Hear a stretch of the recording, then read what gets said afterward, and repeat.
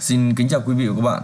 Hôm nay xin kính mời quý vị và các bạn cùng chúng tôi đi khám phá thủy cung ở tại Ryan City ở thành phố Hà Nội nhé.